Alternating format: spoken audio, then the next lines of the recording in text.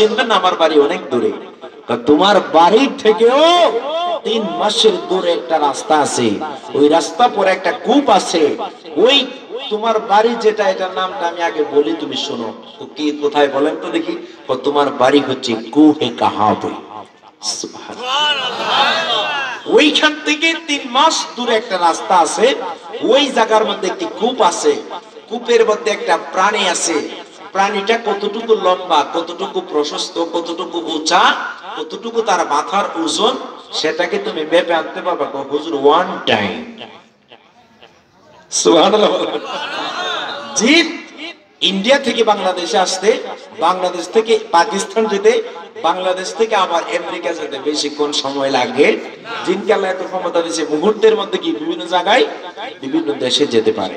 তো ইয়া রাসূলুল্লাহ, চিন্তা করেন আমি, দেখি। নবীজি থেকে বিদায় নিলেন আসার পরে মুসলমান হব। দেখি আপনার পরীক্ষায় ফার্স্ট হতে পারে কিনা। নবীজি থেকে বিদায় নিয়ে গেছে। হ্যাঁ? যাওয়ার পরে কুহে কাহাপে ওনার বাড়িতে গেলেন। যাওয়ার পরে বলতেছেন যে এখন নবীজির দেখানো পথে ওই ওই কূপের মধ্যে যেতে হবে। যাইতে যাইতে যাইতে যাইতে যাইতে যাইতে। কূপ পাইছে। কূপের মধ্যে ডুবাডুবি করছে, কিন্তু কোন প্রাণীর সন্ধান পাওয়া যাইতেছে জবান খুলে একসাথে বলেন, মারহাবা। এটা আমার নবীজির একটা মজেজা। তো একদিন, দুই দিন, তিন দিন যখন জিন আসতেছে না, আমার নবীজি মসজিদে নববী থেকে নামাজ আদায় করে আবু বকরের সাথে কথা বলছেন টকিং করছেন আবু বকরের সাথে। আবু বকর ডাক দিয়ে বলছে ইয়া রাসূলুল্লাহ। জিনকে যে আপনি তিন দিন আগে, এটা দিয়ে এখনও আসলো না, ব্যাপারটা কি? বলবেন না? আজকে তিন দিন হয়ে গেল, জিনকে পাঠাইলেন, কিন্তু জিন তো এখনও আসতেছে না। এই কথা বলতে দেরি হয়েছে। জিন আইসা আমার নবীজিকে সালাম দিলেন। আসসালাতু আসসালামু আলাইকা ইয়া রাসূলুল্লাহ। নবীজিকে সালাম দিলেন। জিনের সারা শরীর বিদ্যা সুবা। একবারে চুবা হয়ে গেছে গা। বৃষ্টির মতো পানি করতেছে মাথা থেকে আমার নবীজি জিনকে জিজ্ঞাসা করলেন হে জিন, তোমাকে পাঠিয়েছিলাম কোন কাজের মধ্যে তুমি জানো নি কো, আপনি পাঠিয়েছিলেন কোহে কাহাব থেকে তিন মাস দূরের রাস্তা একসাথে বলি, সুবহানাল্লাহ, বলার পরে। যে তিন মাস দূরে রাস্তা আপনি পাঠাইছিলেন আমি ওই কুহে কাহা থেকে তিন মাস দূরে রাস্তা যাওয়ার পরে কূপ পাইছি। আমি ষোলো মাইল লম্বা জিন। ইয়া রাসূলুল্লাহ নবী গো, আমি ডুবাইতে লাগলাম, ডুবাইতে ডুবাইতে ডুবাইতে ডুবাইতে, ইয়া রাসূলুল্লাহ নবী গো, আমি ডুবাইতে ডুবাইতে। আমি হয়রান হয়ে গেলাম। তিন দিন পর্যন্ত ডুবাইতে ডুবাইতে আমি শেষ। ইয়া রাসূলুল্লাহ নবী গো আমি জিনের আমি ওই প্রাণীর সন্ধান পাবো দূরের কথা। ওই কূপের মধ্যে আমি কোনো কিছুর সন্ধান পাই নাই। আপনারা বলুন আসলে কি প্রাণী আছে এটার ভিতরে? আছে কি? চেয়ার উপরে বললে গো হ্যাঁ আছে? হ্যাঁ আছে মারহাবা বলেন সবাই। আর জবান খুলে মারহাবা। কি কষ্ট হচ্ছে না তো? আমার নবী সাল্লামের কাছে জিন আইসে বলে, ইয়া রাসূলুল্লাহ, ডুবাইছি, পাইছি না। আমার নবীজি কই, ইয়া জিন, তুমি শুনে রাখো, জিন তুমি শুনে রাখো, ওই কূপের মধ্যে প্রাণী আছে ঠিকই, আসলে তোমার শক্তি নাই, ওই প্রাণীর কাছে যাওয়ার মতো ওই শক্তি তোমার নাই, আমি নবী দেখতে পাচ্ছি, এই মুহূর্তে ওই প্রাণীকে কূপের ভিতরে দেখা যাচ্ছে। আবু বকরকে জিজ্ঞাসা করলেন, ইয়া আবু বকর লাব্বাইক কাছে আসো। ইয়া রাসূলুল্লাহ, কাছেই তো আসো আরও কাছে। নিয়া, নিকটে আসলে। আসার পরে বললেন, তোমার দুইটা হাঁটু, আমি নবীজির দুইটা হাঁটু মুবারকের সাথে মিলিয়ে দাও। চার হাঁটুর মিলন হলে কি প্রেমের ঘটনা ঘটে তুমি আবু বকর দেখতে থাকো। জুড়ে বলুন আবু বকর রাজি হইলেন কইয়া রাসূলুল্লাহ, আপনি কামলিওয়ালা নবী। আপনার কারণে তামাম জাহান আল্লাহ পয়দা করেছে। কেমন করে আমি আপনার দুই হাঁটুর সাথে আমি নিজের হাঁটু লাগাই, আমি পারব না, ইয়া রাসূলুল্লাহ।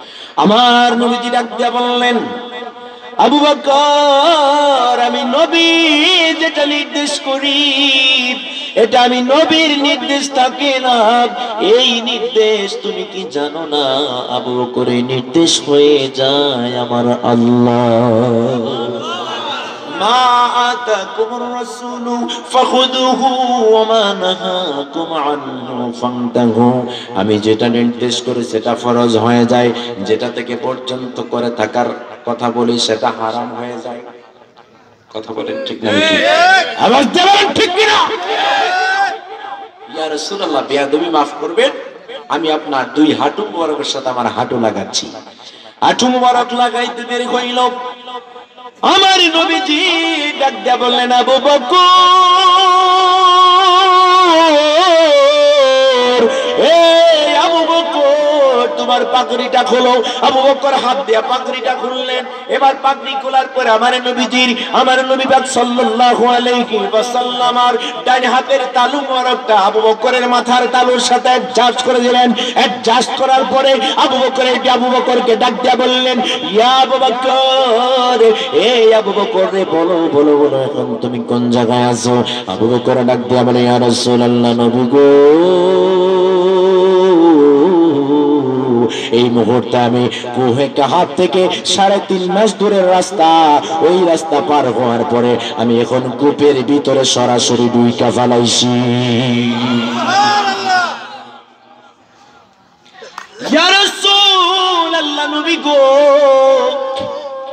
এখন আমি আবু বকর। আমি কূপের ভিতরে আছি। আমার নবীজি ডাক দেয়া বলতেছে, আবু বকর রে, আবু বকর, তুমি কি কূপের কূপের মধ্যে প্রাণীর সন্ধান পাইছনি? কই ইয়া রাসূলুল্লাহ নবী গো, কূপের সন্ধান কেমন করে এই জিন পাবে? তো জিনে মাত্র ষোলো মাইল, সে ডুব দিলে আরও তিন ষোলো মাইল যাইতে পারবে তিন ষোলো আটচল্লিশ বা এর চেয়ে কম বেশি হবে। কিন্তু এই এই কূপ তো সাধারণ কোনো কূপ না। এই কূপ তাহাতা সারা পর্যন্ত লেগে গেছে। মাত্র তাহাতা সারা যখন সাত আসমান, সাত জমিন ও সাত জমিনের নিচে, তাহাতা সারার একটু উপরে ওই প্রাণীর সন্ধান আমি পায়া গেছি। আর রাসূলুল্লাহ, আমি প্রাণীকে হিসাব করে আমি দেখলাম, এই প্রাণী এক মাইল, দুই মাইল লম্বা নয়। এই প্রাণীটা তেত্রিশ কিলোমিটার লম্বা। এলমে মাহারেফা কেমন জিনিস?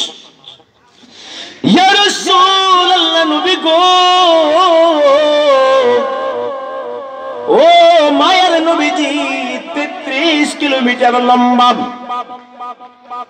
এর মাঝখান দিয়া জিন ডাক দিয়ে বলতেছে ইয়া রাসূলুল্লাহ আখফা ইন্নী খাশিতু লিমান নাফসি। ইয়া রাসূলুল্লাহ আপনি পাঠায়েন না আবু বকরকে। আবু বকরকে ওই ভিতরে পাঠায়েন না মহিরা যাইবো। আমি তো নিজে মহিরা গেছিলাম। সুবহানাল্লাহ। আমি নবী আছি মরার কোনো টেনশন করার কারণ? আমার নবীজি ডাক দিয়া বললেন আবু বাকার। এই প্রাণীর লম্বা বললা তেত্রিশ কিলোমিটার লম্বা। এই মুহূর্তে জানায় দাও, এই প্রাণীর মাথার ওজনটা কতটুকু আর নবী গো, কেমন করে জেনে খবর জানবে? এটার মাথার ওজন আমি দেখলাম উনপঞ্চাশ টন শুধু এটার মাথার ওজন। সুরাতুল জিন হলেন আপনি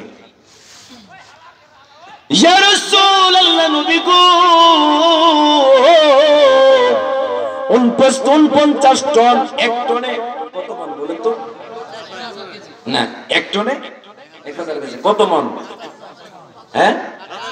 সাতাশ মন, পঁচিশ মন। বর্তমানে কত মন? পঁচিশ মন। সাড়ে সাতাশ মন আছে না, আগে এখন পঁচিশ মন। বলতেছে এক মন, এক টন, দুই টন নয়। উনপঞ্চাশ টন তার শুধু মাথাটার ওজন। ওইটা মুখ তুমি তাকে দেখো। আমার তো মনে হচ্ছে আপনি দেখে দেখে প্রশ্নটি করতেছেন। আপনি কেমন করে বলতেছেন আমার নবীজি ডাক দেয়া বলে, আবু বকর, আমি যা বলি তুমি এবার আমার সাথে বলো। এটার মুখ কইটা তুমি বলো। আবু বকর ডাক দেয়া বলতেছি রাসূলুল্লাহ, ইয়া এটার একটা দুইটা মুখ নয়, একটা দুইটা মুখ নয় গো নবী। এটার চারটা মুখ দেখা যাচ্ছে, একটা মুখ দিয়ে লাবান সে দুধ খায়, আরেকটা মুখ দিয়ে মাউল সে পানি খায়, আরেকটা মুখ দিয়ে সে তামার খেজুর খায়, আরেকটা মুখ দিয়ে আসি মধু খাই। ইয়া রাসূলুল্লাহ, নবী গো নবী গো নবী গো। চার প্রকার খাবার সে খায়, চারটা মুখ দিয়া। আমার নবীজি ডাক দিয়ে বলতেছে, বিশাল বড় প্রাণী, এই প্রাণীটার খাবার কেমন করে পায় সে? এই জায়গার মধ্যে কেমন করে তার রিজিক আসে? ডাক দিয়ে বলতেছে, রিজিক তো নাই গো নবী, তো কেমন করে তার পেট ভরে? তো ইয়া রাসূলুল্লাহ, নবী গো, এই এই প্রাণীটা যে আছে, এই প্রাণীটা দিনের তিন বেলার মধ্যে কোনো বেলার খাবার উপাস নাই। তিন বেলার মধ্যে তিন বেলায় সে খাবার কো কেমন করে খাবার পাই কো ইয়া রাসূলুল্লাহ নবী গো আপনি নবীর উপরে তিনবার করে যখন সাল্লাল্লাহু আলাইকা ইয়া মুহাম্মদ পড়ে প্রত্যেকবার দুরূদ শরীফ পড়ার কারণে এক একটা মুখ দিয়ে এক একটা খাবার যায় যাইতে দেরি হয়। মুহূর্তের মধ্যে এই প্রাণীটার পেটটা সাথে সাথে পরিপূর্ণ হয়ে যায়। আল্লাহু।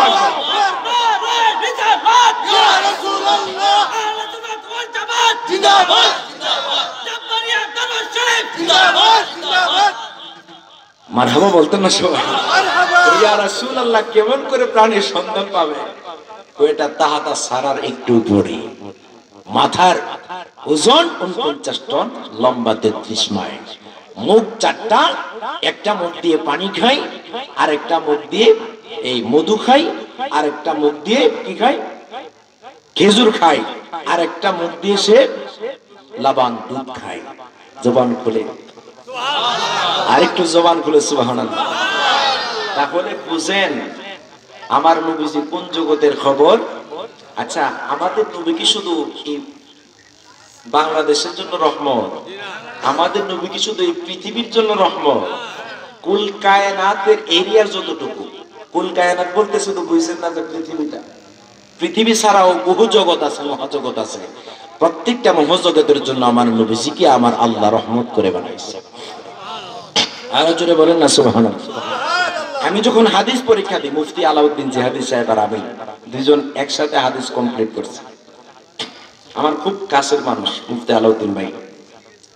তো আমি একটি কিতাব দেখতেছি, কিতাবটির নাম দিয়েছি আজমতে মুস্তফা। সবাই বলেন, সাল্লাল্লাহু আপনাদের মাত্রসা দেখেন। এটা কিন্তু এক সময় মানুষ ছিল। হাতি এক সময় মানুষ ছিল। ভাল্লুক ছিলেন? ভাল্লুক মানুষ ছিল। নির্দিষ্ট টাইমে মিন্স থেকে কমপ্লিট এটা মহিলা ছিল। নির্দিষ্ট টাইমে মিন্স থেকে কমপ্লিট হওয়ার পরে এই মহিলাটা পবিত্রতা অর্জন করে নাই। পবিত্রতা অর্জন না করার কারণে আল্লাহ তারে ভাল্লুক বানাই দিছে।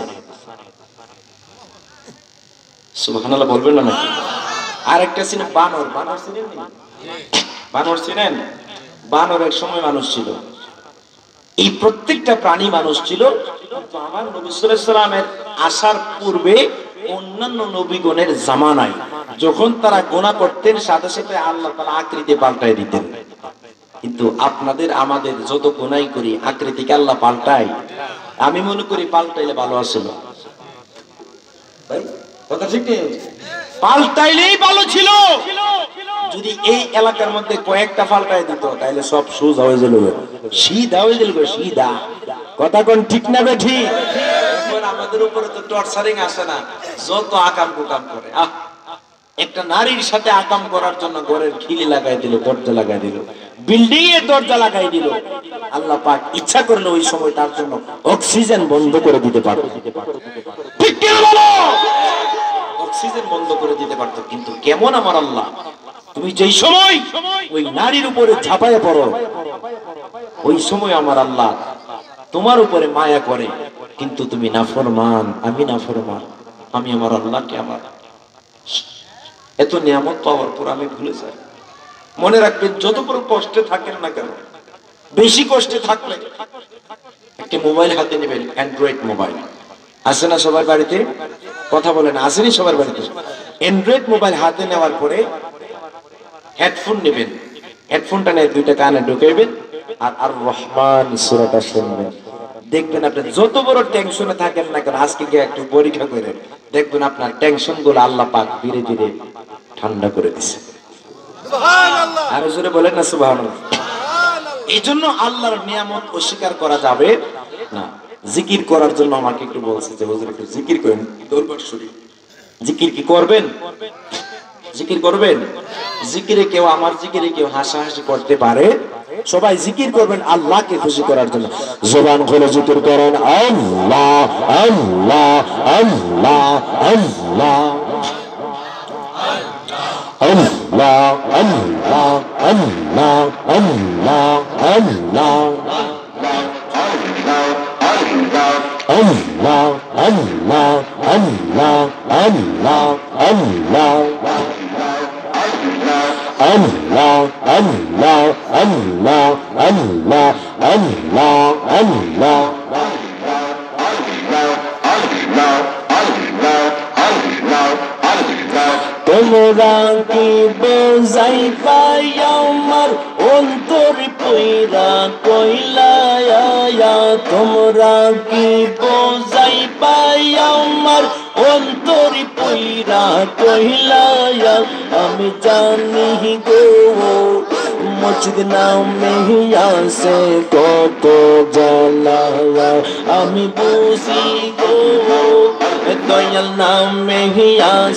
কত জায়গা বাসাল্লা আল্লাহ আল্লাহ আল্লাহ আল্লাহ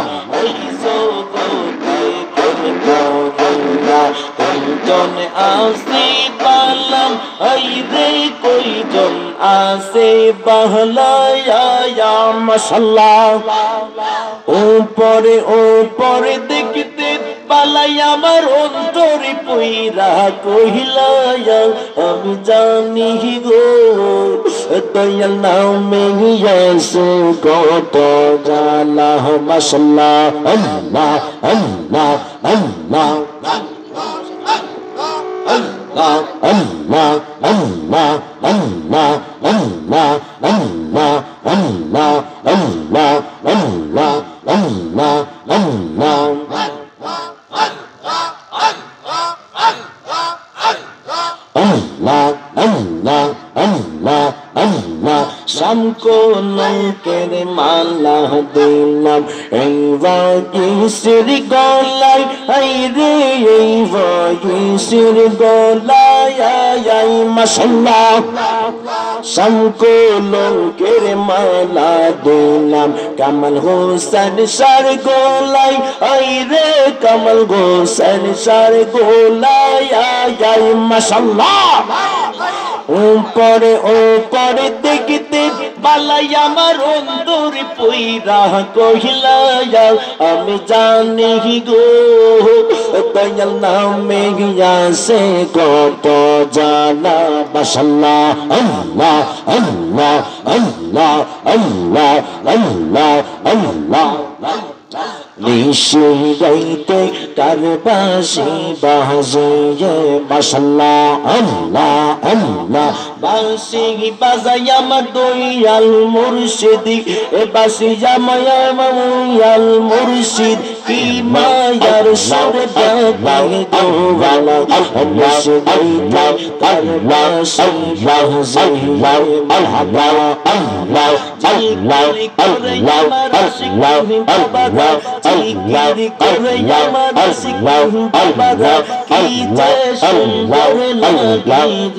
আল্লাহ الله الله الله زينا الله الله الله الله الله الله الله بدي الله الله الله الله الله الله أرجوكم طيبة موريكم ما شاء الله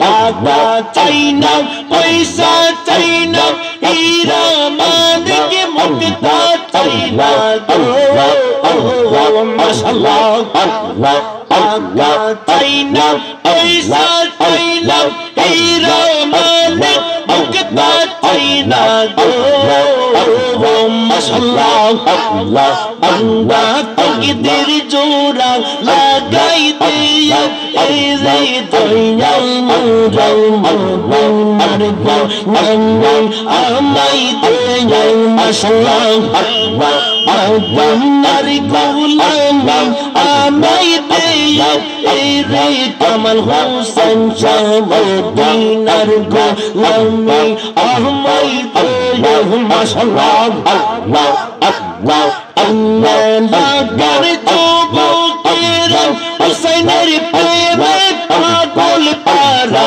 اللہم سلام اللہ اللہ کو دیسے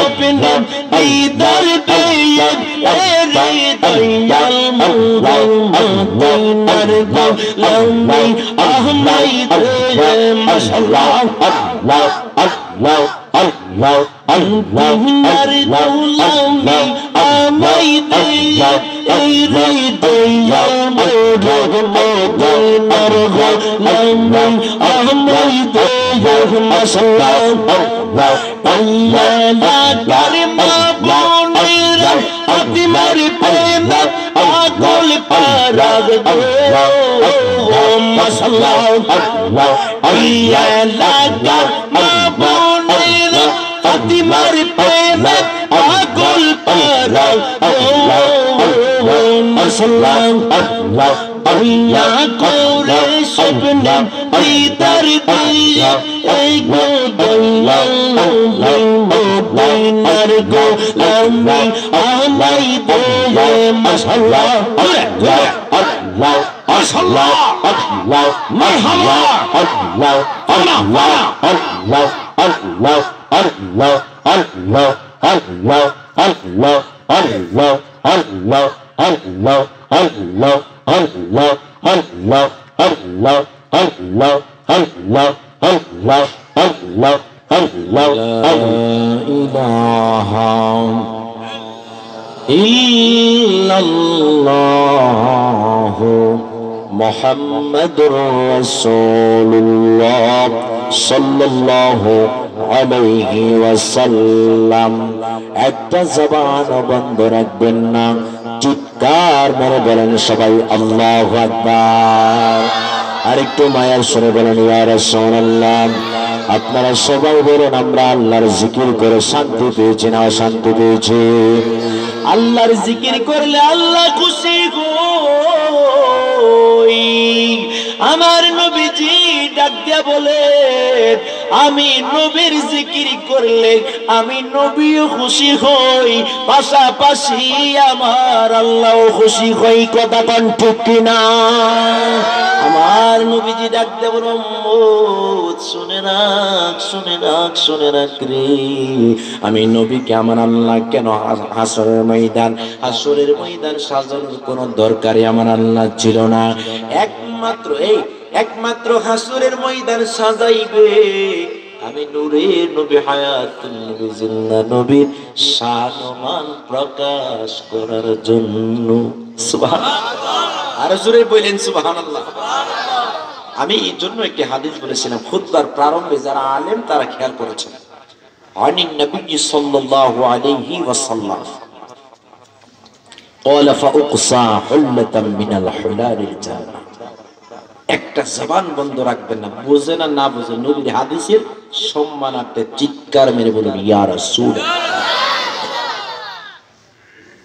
আমার নবীজিকে হাসরের ময়দানে আমার আল্লাহ ডাক দেয়া বলেন, হাবিব, আপনি আপনার পোশাকটা একটু চেঞ্জ করে ফেলেন। আমার নবীজি বলবেন, আল্লাহ, কেন? আজকে এমন একটা অবস্থা হবে, আজকে সবার সামনে আপনাকে ডিসপ্লে করব। দেখাবো আপনার শান, আপনার মান, আপনার মর্যাদা। জবান খুলে বলেন, সুবহানাল্লাহ।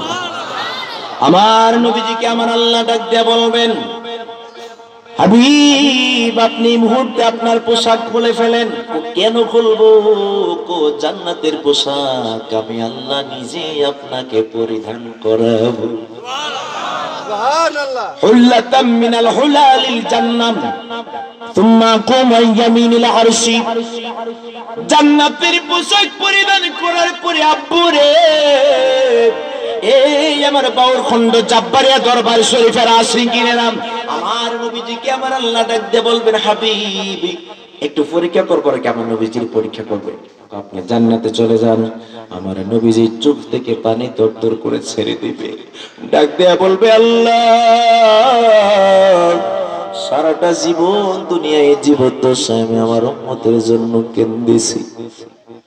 আওয়াজ দেয়া কর, ঠিক না বেঠি আর একটু আওয়াজ দেয়া কর, ঠিক কিনা আমার নবীজি ডাক দিয়ে বলবে, ও বারে লাগি, তুমি শুনে রাখো রোজা পাকের মধ্যে শুয়ে শুয়ে আমি ঘুমাই নাই। আমি ঘুমাই নাই। আমি আমি আমি মায়ার নবী জিন্দা নবী, নূরের নবী। আমি রোজা পাকের মধ্যে আমি আমার উন্নতির জন্য কান্নাকাটি করেছি। ও কেমন করে উম্মত সারা জান্নাতে চলে যায়। আমার নবীজি জান্নাতে যেতে নারাজ হবেন। আল্লাহ পাক বলবেন, ঠিক আছে, আপনি এখন জান্নাতে যাবেন না। তোমা আকুমু আইয়ামিনিল আরশি। আরশের ডান দিকের জায়গার মধ্যে আমার নবীজি দাঁড়ায় থাকবেন। আরশের ডান দিকের জায়গার মধ্যে আমার নূরের নবী, হায়াতুন নবী, জিন্দা নবী দাঁড়ায় থাকবেন। সুম্মা কুমু আইয়ামিনিল আরশি, লাইসা আহাদুম মিনাল খালাইকি আমার নবীকে এত মর্যাদা আমার আল্লাহ দান করেছেন যেই মর্যাদা মুসাকে দান করেন নাই, ইউসাকে দান করেন নাই, ঈসাকে দান করেন নাই, ইউসুফকে দান করেন নাই, ইয়াকুবকে দান করেন নাই, জাকারিয়াকে দান করেন নাই, ইউনুসকে দান করেন নাই, এক লক্ষ তেইশ হাজার নয়শত নিরানব্বই জন নবী রাসূলদের মধ্যে কাউকে এই মর্যাদা দান করেন নাই। আমার আল্লাহর হাবিব বলেন, আমি নবীকে একমাত্র সেই মর্যাদা অনলি ওয়ান একমাত্র আমি নবীকে দান করেছি।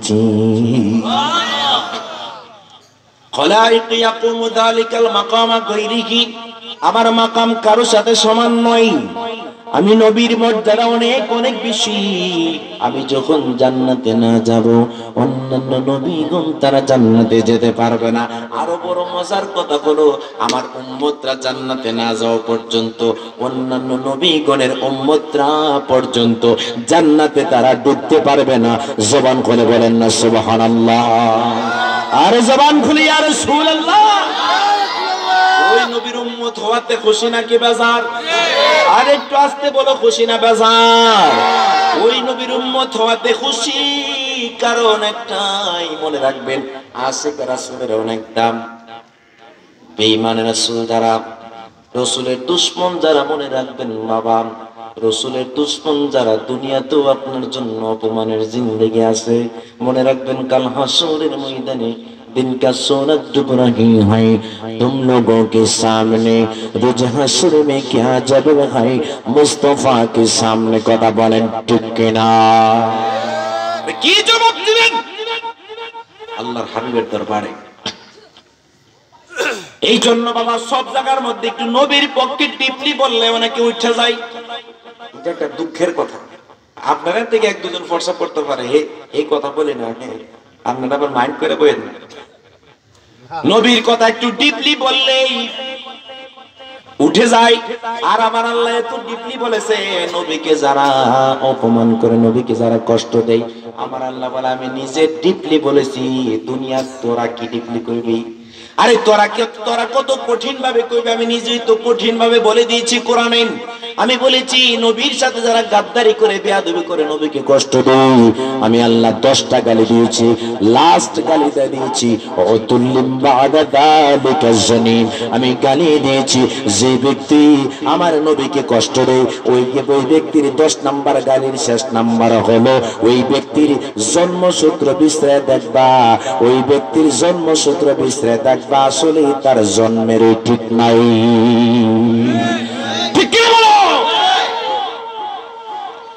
এই জন্য বাবা বর্তমান জামানের মধ্যে ইমানের ব্যাপার, ইমানের বাজারের মধ্যে আগুন লাইগা গেছে রে। মাহফিলের মধ্যে নবীর ব্যাপারে কথা বললে বাধা কহুজুর থামেন। আমি বলি, তোমার মতো চেংরা তোমার মতো দুই টাকার দামওয়ালা ব্যক্তি আমাকে থামতে বলো বিশ্বাস সাহস যদি তাকে কোরআন হাদিস নিয়ে বসো আমার নবীর সম্মান আমি বয়ান করি না বয়ান করেন স্বয়ং আমার আল্লাহ তিরিশ পারার সুরাতুন নাসরাহ ورفعنا لك ذكرك سبحان الله মসনদে ফেরদাউস মসনদে ফেরদাউস কিতাবের নাম যত জায়গায় গতকাল মাহফিলে গেলাম গেল আগের রাত্রে কুলাউরা ওই সিলেট কুলাউরা পাহাড়ের এই মিঠি মিঠি পথ, আপনার রাবার বাগান, আনারসের বাগান, আমের বাগান, আর কি?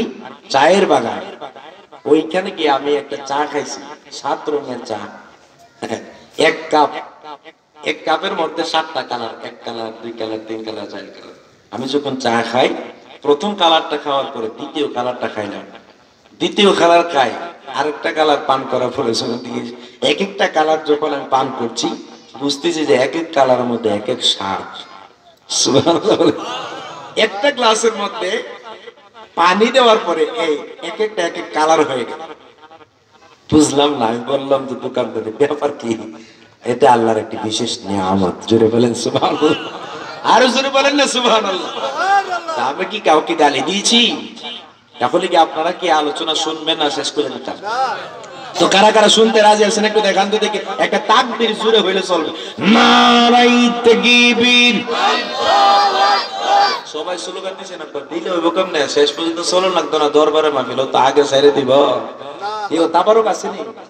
আছে? তাবারক আছে, এরপরে আওয়া ইলেকশনের চেয়ারম্যানের মেম্বারের চেয়ারম্যানের স্লোগানের ছুড়ে বেড়া। এমন জুড়ে এমন ভাইয়ের আগমন হ্যাঁ? শুভেচ্ছার স্বাগতম স্বাগতম। সৈটিকে কে খায় বেড়া একবারে জানে জিগা শেষ হয়ে গেছে স্লোগান দিতে দিতে গামতে গামতে শোভা গেছে গা, মাফলার ফেরা খবর নাই। গেছে গা, সাবদুর ফেরা খবর নাই। কতকেল ফেরে, লঙ্গি ফেরা গেছে গা। মিটার বেরিতেছে, খবর নাই, যাইতাছে একই। কথা কোন ঠিক কিনা? দুনিয়ার সাধারণ চেয়ারম্যান, মেম্বারের মধ্যে বেটা জাল শেষ। আর নবীজির মাহফিলে, আল্লাহর এই মাহফিলের মধ্যে কেউ আসতো, যদি কই, না রে, তাকবীর কথা আল্লাহু আকবার। জান চলে না, কথা কোন ঠিক না ঠিক? আওয়াজ দিয়ে বলেন, ঠিক কি না? আমি গেছিলাম সিলেট মাহফিলে, আসার পথে এক মসজিদের মধ্যে আপনারা আবার ভুল বুঝছেন না যে হুজুর এই লেভেলে দেয় আর কি।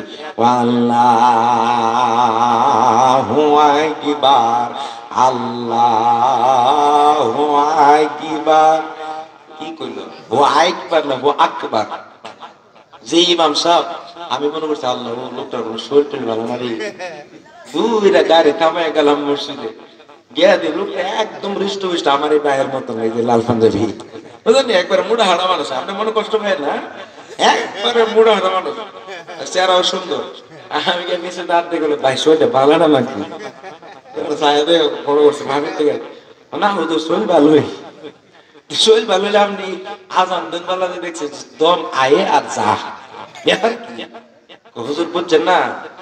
এই মসজিদের কাহিনী উঠলে আপনি নিজেও স্টক করে নেবেন। সম্পূর্ণ সাবধানে কই স্টক যাতে না করি আর কি।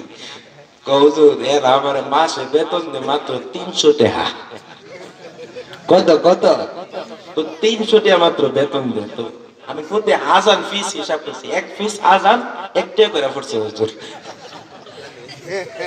কত ও এক পিস আজান এক টাকা করে পড়ছে হাজার আজান এক টাকা করে আজান আর কোন দূর সুর দিতাম? সুর আইফোন টান্দা আইফোন আইফোন টান্দা ধরে ধরে হুজুর আর এক কাহিনী বললে তো আরও মরবেন হুজুর আর কি হয়েছে তিন মাস ধরে বেতন নাই। বর্তমান জামানার মধ্যে একটা চাকরি আছে যে চাকরিটা সবচেয়ে কম সস্তা চাকরি হলো ইমামতি মুয়াজ্জিনের চাকরি। যার নাই কোনো গতি সে করে ইমামতি। কথা এলাকার নিকৃষ্ট একটা মানুষ মারে "আহ!" এখনও মহিলা হ্যাঁ? এমন একটা অবস্থা। আর হজরত উমর বলে আমি নিজে মসজিদে নবী জারু দিতাম।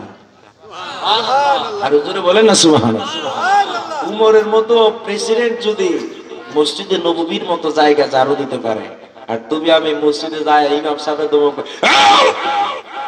কথা বল ঠিক নেবে ঠিক এরকম কোন কিছু মানুষ আছে না নাই? কেশিয়ার সাহেব সারা বছর মসজিদে শুক্রবারে মসজিদে যা সেন্ট লাগা আতর লাগা হ্যাঁ?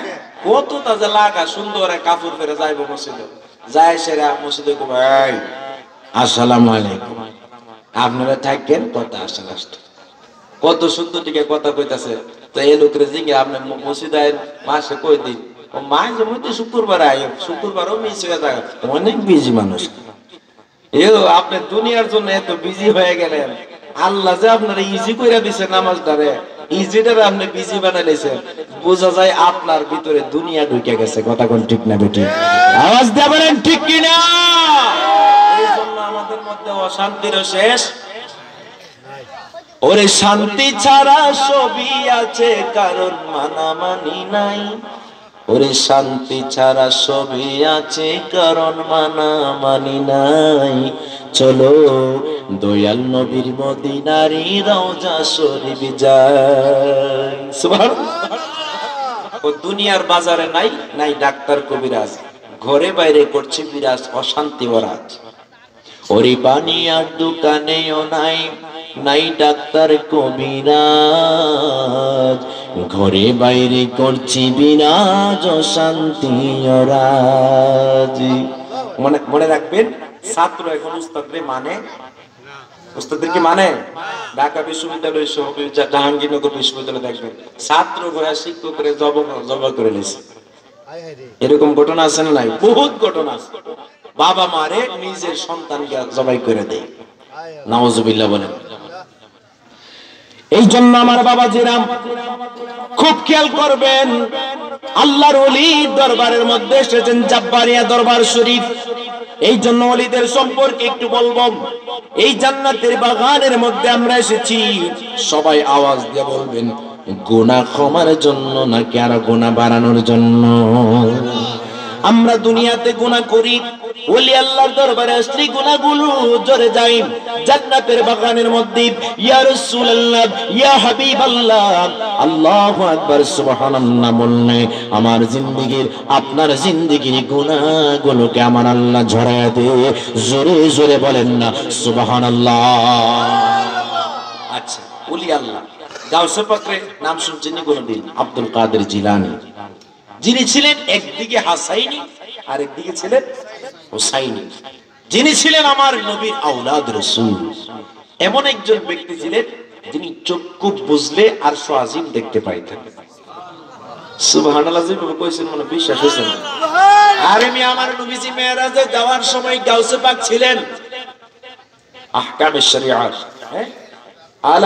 কিতাব। নবীজি যাওয়ার সময় গাউসে পাক ছিলেন। মারহাবা বলেন সবাই। নবীজি যখন বাইতুল মামুর ওই জায়গায় নামাজ পড়েন ইব্রাহিম নবীর মসজিদে বাইতুল মামুরে সপ্তম আকাশে তখন গাউসে পাক সেই নামাজের মুসল্লি ছিলেন। ওই মায়ার নবীজি নবীজির একটা পাগলা উম্মত নবীজির পাগলা একটা আশিক ছিলেন হযরতে গাউসে পাক আব্দুল কাদের জিনানী যিনি মাঝহারে জামালে মুস্তাফা। নবীজির মাঝহারে জামালে মুস্তাফা, যার মধ্যে আমার নবীজির কামানিয়াত ছিল। ওই গাউসে পাক Abdul Qadir Jilani al Gilani al Baghdadi. আসরের নামাজের রুজু বানায়। সবাই বইলেন, বুঝে থাকলে না বললে শেষ করে দেবো আর কি। বইলেন, বুঝে থাকলে কোন নামাজের? মাশাল্লাহ কোন কোন নামাজের? আসরের নামাজের রুজু বানাই গাউসে পাক বাগদাদের জমিনে, ইরাকের বাগদাদে। আমার নবীজি, রওজা পাকি জিন্দা নবী।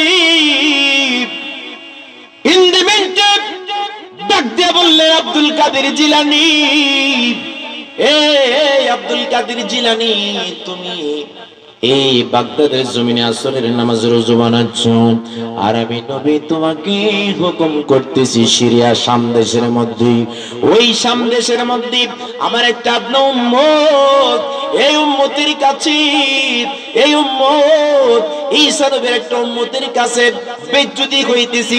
তাড়াতাড়ি কইরা বাগদাদ থেকে চলে যাও। তাড়াতাড়ি করে শাম সিরিয়ার দেশের মধ্যে চলে যাও। যাইয়া ঈসা নবীর উম্মতের হাত থেকে আমি আদনা উম আমার আদনা একটা উম্মত। ওই উম্মতের ঈমানটুকু তুমি বাঁচাও। জবান খুলে বলেন না সুবহানাল্লাহ। আচ্ছা বলুন তো আসলে কোন নামাজের রুজু বানাচ্ছিলেন? সবাই বলেন না জবান খুলে কোন নামাজে আসরের নামাজে এখন উজু বানাচ্ছেন আসরের নামাজে। নবীজি হুকুম করছেন কোন জায়গা থেকে? মদিনা শরীফ, রওজা শরীফ থেকে হুকুম করছেন গায়েবী আওয়াজ দিয়ে। এলহামের মাধ্যমে তাড়াতাড়ি করে সিরিয়াতে চলে যাও। এখন বলুন, আপনারা একটা মাসালার উত্তর দিবেন। এখন গাউসে পাকি নামাজটা আসরের পইরা যাবে নাকি নামাজটা ছাড়া হয়ে যাবে? বলুন তো কেন যাবে? নবীজির হুকুম নামাজের চেয়েও আর বড় দামি সুবহানাল্লাহ যদি কোনো মানুষ প্রমাণ করতে পারে, নামাজ আমার নবীর চেয়ে বড়, খোদার কসম কল্লা দিয়ে যাব যদি প্রমাণ না দিয়ে যেতে পারে।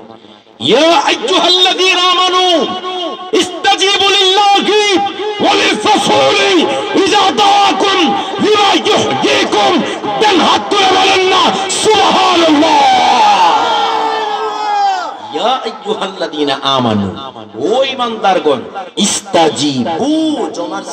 তোমরা কি দাও? আমরের জমার সেগা যে তোমরা জবাব দাও। যখন তোমাদের আল্লাহ ডাক দেই যখন তার হাবিব, তার রাসূল ডাক দেই চিৎকার মেরে বলেন, সুবহানাল্লাহ। তুমি যে তুমি যে ফাঁক না মৌলবী হইয়া গেলা, তুমি যে বলতেছো যে আমার হ্যাঁ আমার নবী আমাদের মতো নই। নবীজি ঘর করছেন নবীজি ছেলে মেয়ে আছে হ্যাঁ? আমার নবী ছেলে মেয়ে আছে হ্যাঁ সব সব আছে। তো নবীজি যা আছে আমরা তা আছে জন্য নবীজি সমান। তাহলে তো তোমার নাম তো এখানে ঢোকানো দরকার আছে। ইয়া আইয়ুহাল্লাযীনা আমানু, ইস্তাজিবু লিল্লাহি ওয়ালির রাসূলি বলার পরে বলা দরকার আছে ওয়ালিল আব্দুর রহমান। কথা বলেন ঠিক কিনা? তাহলে তুমি কেন নবীর আজমত নিয়ে টানাটানি করো? আরে তুমি কেন আমের নবীর আজমত নিয়ে টানাটানি করো? নবীর তোমার চাদর দিয়ে চাদরের মধ্যে হাত দিও না মনে রাখবা, নবীর চাদরের আজমতের চাদরে হাত দিবা, তোমার জীবনের সকল আমলগুলা বরবাদ হয়ে যাবে। আওয়াজ দিয়া বলেন, ঠিক কিনা? আমার নবীজি ডাক দিয়ে বললেন মুহূর্তের মধ্যে গাউসে পাক চলে গেলেন সিরিয়াতে। দেখলেন দুইটা ব্যক্তি তুমুল ঝগড়া করতেছে। এখন বর্তমানে দুইটা দেশে ঝগড়া হইতেছে। নাম কি? ইউক্রেন আর রাশিয়া। দুই দেশে ঝগড়া হইতেছে বাংলাদেশের তেলের দাম বাইরে গেছে। কথা ঠিক নেবে ঠিক। বাজা ওই দেশে ঝগড়া হইতেছে ওই দেশ থেকে ওই দেশ থেকে মাল সামান যে আনতেছে তা না। পনেরো দিন এক বছর, দুই বছর ঝগড়া না হইল, যা তৈল আছে এটাতে বাংলাদেশ হইব বাংলাদেশের এই বাটফাট, সুর বাটফাট দোকানদার কতলা আছে? এইটি জমাই লেছে মানুষ জনের সামনে রোজার মাস আইতেছে। আমার মন হইতেছে কি, না জানি এক হাজার টাকা কেজি তেল হয়ে যায়। কথা ঠিক না বেটি আশি টাকা, নব্বই টাকা কেজির তৈল, দুইশো বিশ টাকা হয়েছে হ্যাঁ হ্যাঁ যাব। তাহলে বুঝেন কত বড় শয়তান হইলে দোকানদারগুলা নিজের চিন্তা করে। করোনার সময় সবাই জীবন ঠেলা ঠেলা ঠেলি আর এক বেড়া নিয়ে এসে এরা কইতেছে বিছনার তলে নিয়ে সেরা বেড়া সব তেল থয়ে দিছে। আমার মনে হে বেড়া হে তেল যদি থাকতো করে কুটি হতে গেলাম এই জন্য বাবা মনে রাখবেন, তো গাউসেবাগ যখন নামাজ না পড়ে উনি চলে আসলেন, আসার পরে উনি ডাকতে বললেন, বাবারা, তোমাদের মধ্যে কি হয়েছে? তো ঈসা নবীর উম্মত আর আমাদের গাউসে পাককে চিনে না, আমাদের নবীর উম্মতেও চিনে না, সরল, সোজা মানুষ। তো গাউসে এই পাগলটা আমাদের উম্মতে বলতেছে, আপনাকে তো কোনোদিন দেখি নাই। কিন্তু খেয়াল রাখবেন, বলার একসাথে বলেন। বলতেছে, আপনাকে কোনোদিন দেখি নাই, কিন্তু আপনার চেহারা, আপনার শরীর, আপনার বডির মধ্যে আখেরি নবী রহমাতুল্লিল পাওয়া যাইতেছে। আরও সুরে বলেন না আপনাকে চিনি না আপনাকে কোনোদিন দেখি নাই, কিন্তু আপনার বডি মুবারকের মধ্যে আপনার বডির মধ্যে আখির নবী মুহাম্মদুর রাসূলুল্লাহ সাল্লাল্লাহু আলাইহি ওয়াসাল্লামের গ্রান পাইতেছি। আপনার পরিচয় দেন, গাউসে পাক পরিচয় দেন না। গাউসে পাক ডাক দিয়ে বলে, তোমাদের মধ্যে কি হয়েছে? ঈসা নবীর মধ্যে একটু ফাগলা টাইপের কি। তো কি হয়েছে জানেন না? আমি বলতেছি, আমার ঈসা নবী বড় হ্যাঁ কয়ার নবী বলে বড়? আচ্ছা কোন তো ঈসা নবী বড় না আমাদের নবী বড়? আপনাদের পিছনে এরা কি ঈসা নবীর উম্মত? বাবে তুই মনে বুঝাইলেন, জবান খুলে বলেন, কোন নবী বড়? আমাদের নবী বড়, কোন নবী বড়? আমাদের নবী বড়, কারণ আমাদের নবী হলো সকল নবী বড় নবী। জুড়ে বলেন, ঠিক না বেঠে? গেলেন তোমার যে বড়, কি কাজে বড়? কি কি জানে? আমার কি জানে জানেন আপনি? কি বলো না দেখি। আমার মরা মানুষকে জিন্দা বানাইতে পারে। চিৎকার বলেছে আসলে এটা সত্য। সত্য। মরা মানুষকে জিন্দা বানিয়েছেন অসংখ্যবার। আর কি পারে? যার চোখ নাই, মুছা দেওয়া মাত্র চক্ষু ভালো হয়ে যায়। আর কি সাদা ডবল রুগী যে আছে, মুছা দেওয়া মাত্র শরীর ভালো হয়ে যায়। বহু রুগী আসলে মুছা দেওয়া মাত্র ভালো হয়ে যায়। আমাদের নবীর উম্মত এত কিছু জানে যা জানে না যে আমার নবী সাল্লাম কতবার যে মরা মানুষের জিন্দা বানাইছে। আপনার এই ওয়াজ জানে। জাবেরের দুই সন্তানকে আমার নবী যে ইশারা করা মাত্র দাঁড়ায় গেছিলেন কথা বলেন ঠিক কিনা? আমার নবীর উম্মতরা ছিল খুব সরল সোজা মানুষ বেহা মানুষ আর এত কিছু বুঝে না। তো না বুঝলো বেকা মানুষের জন্য আমার আল্লাহ আছে না নাই? তো এই মানুষটার জন্য আমার আল্লাহ আছে। আমাদের গাউসেপাক বলতেছেন ঈশানবীর উম্মত, তোমার ঈশানবী আর কি কি পারবে? আর কি পারবে? মরা মানুষের চিন্তা পারে আর কি পারবেন না একটা বাড়াইতে তো গাউসে পাক এই কথা বলার পরে আমাদের নবীর উম্মতরে জিজ্ঞাসা করতেছে, তোমার নবী কি পারে? হুজুর বেশি কিছু জানে না। তো কি জানো বলো? ও হুজুর, আমি জানি যে আমাদের নবী যিনি রওজা মুবারকে বাদশার মতো আরাম করছেন আর ঈসা নবী যিনি দারওয়ানের মতো চতুর্থ আসমানের মধ্যে পাহারা দিচ্ছেন। আরও জোরে বলুন দেখবেন বেকুব মানুষ বেশি কথা কয় না কিন্তু কইলে একটা হইছে দশটা কথার কান কেটে দেয়। ঠিক না কই ঈসা নবী দারওয়ানের মতো পাহারা দেয়।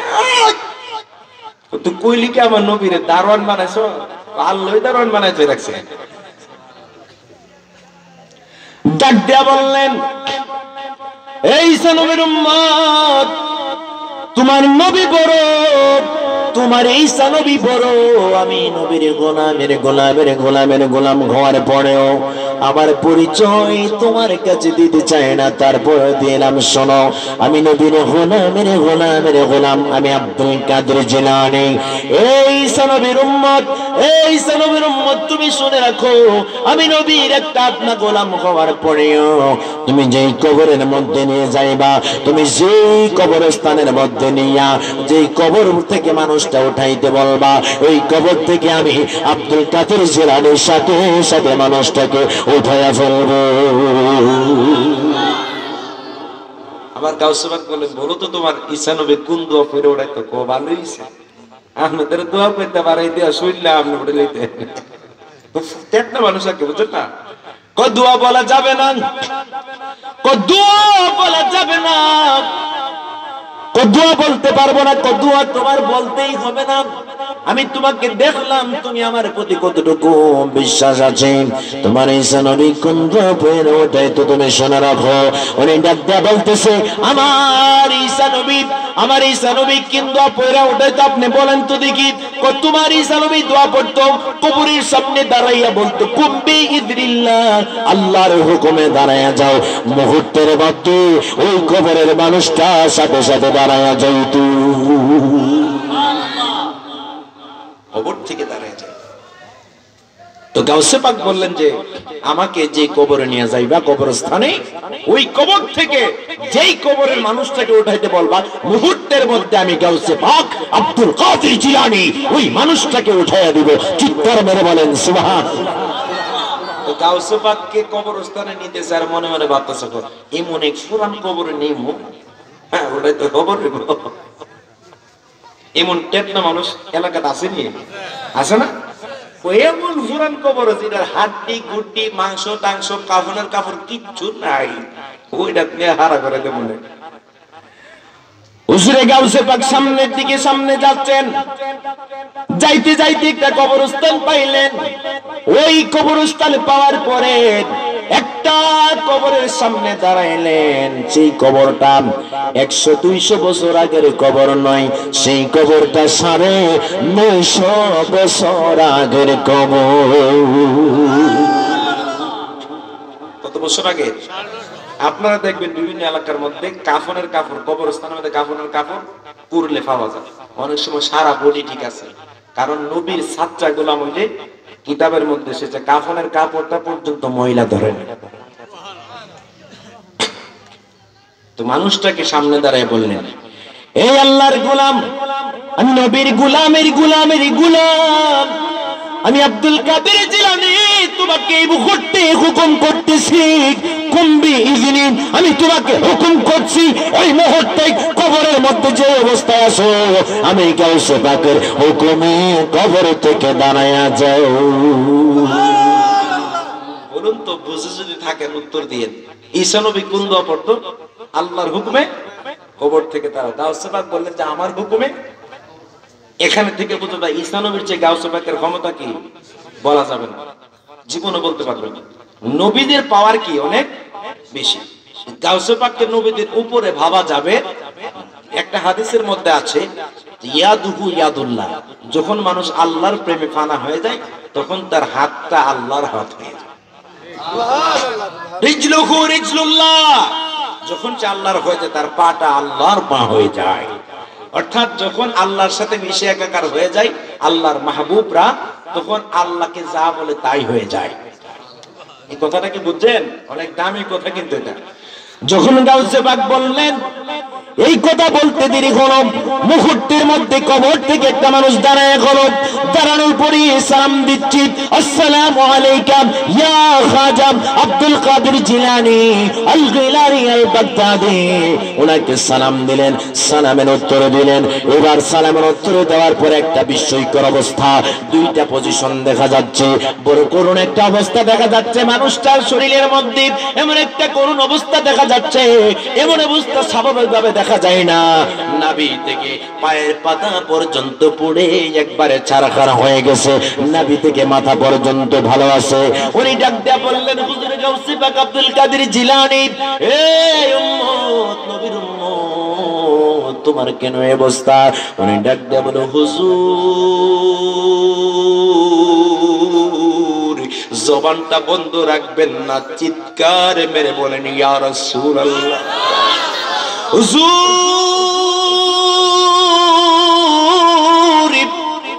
হুজুর গো।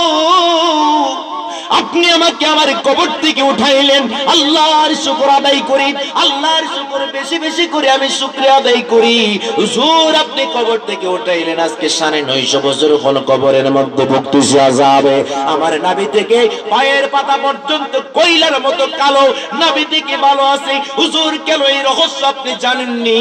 এই দুনিয়ার মধ্যে সবচেয়ে বেশি আমার মা। মাকে আমি দুনিয়ার মধ্যে ভালোবাসতাম। আমার মায়ের জন্য আমি শহর থেকে আসার সময় আঙ্গুর ফল নিয়ে আসতাম। আপেল নিয়ে আসতাম। আমার মায়ের জন্য আমি বিভিন্ন ফল ফলাদি নিয়ে আসতাম। আমার এই স্নেহের এই মুজাহিদ তার আব্বাটা দুনিয়াতে দেয় হজরত মাওলানা গোলাম মুস্তফা আশিকি সাহেব, আমি ওনার নাম শুনেছি, অনেক নাকি ভালো মানুষ ছিলেন।